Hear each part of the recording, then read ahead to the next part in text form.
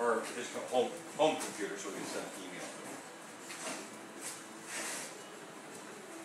Did you get them all? Yeah, and you got the surveyor of the world sitting there. Yeah, that's that trying little to, nail. Trying to figure out where he's supposed to then fit tell us in. we were wrong, the smallest one is a male.